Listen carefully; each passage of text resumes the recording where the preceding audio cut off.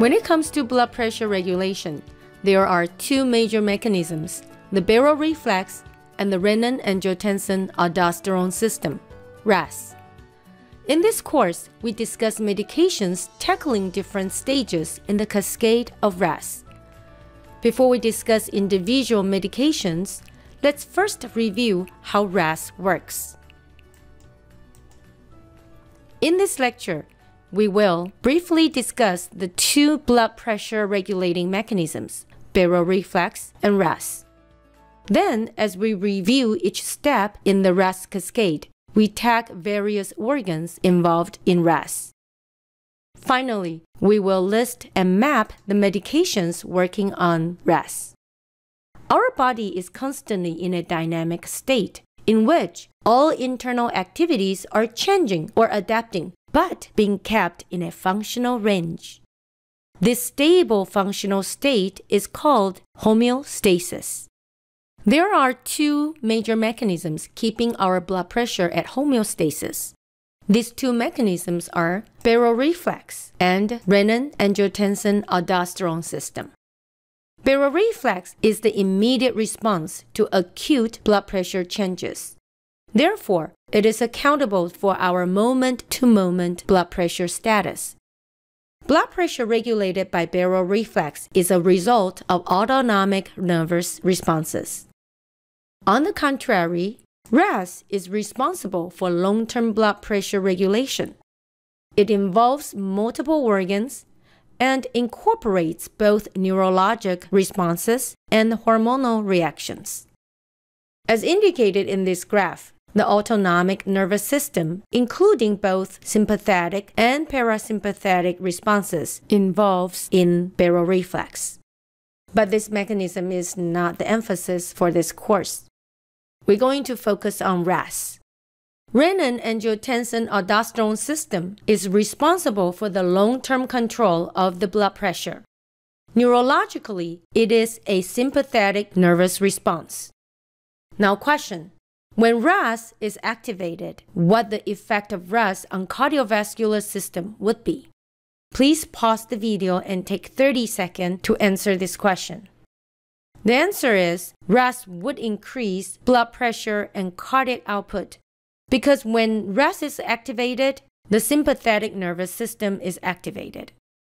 Another question What effect would you expect of the medications working on RAS? If we follow the trend of reasoning, we can anticipate that cardiovascular medications on RAS regulate the blood pressure by inhibiting, blocking, and antagonizing any step in the cascade of RAS. Right? Right. As a matter of fact, medications working on RAS are blah blah inhibitor, blah blah antagonist, blah blah blocker. Blah blah refers to the steps in the cascade of RAS. Many organs involved in RAS, including the heart, the kidney, the liver, the lung, and the adrenal cortex. In the cascade of RAS, hormone also plays a role. The story starts with the beta 1 adrenergic receptors.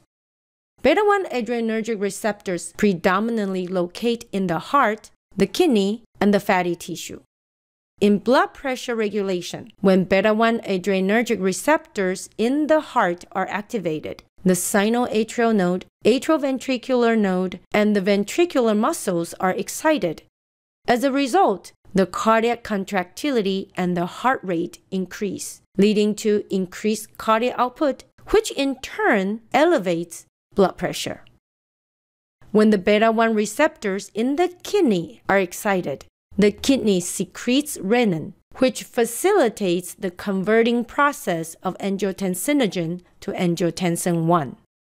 Angiotensinogen is a serum globulin that is synthesized and released by the liver. Angiotensin 1 travels in the blood until it reaches to the lung. The endothelial cells inside the blood vessels in the lung produce and secrete a converting enzyme known as angiotensin converting enzyme, ACE, which then catalyzes the conversion of angiotensin 1 to angiotensin 2. Angiotensin 2 is a very powerful vasoconstrictor. Not only does it cause vasoconstriction, but it also stimulates adrenal gland to release aldosterone. This hormone, aldosterone, acts on the distal tubule of the nephron in the kidney to retain sodium and water. It increases the blood fluid volume directly and cardiac output indirectly. As a result, blood pressure is elevated. Four groups of medications work on RAS. ACE inhibitor tackles the converting process of angiotensin 1 to angiotensin 2. Angiotensin 2 receptor blocker binds to the receptors of angiotensin 2 at blood vessels, kidney, and adrenal gland. Renin inhibitor affects blood pressure by stopping converting process of angiotensinogen to angiotensin 1. This process happened at the very early stage of RAS. Aldosterone antagonist works at the last stage of RAS. Medications in this family interfere the hormonal effect and disturb the electrolyte movements in the kidney. Thank you for spending time with me. We will start the individual medications with ACE inhibitor in our next lecture.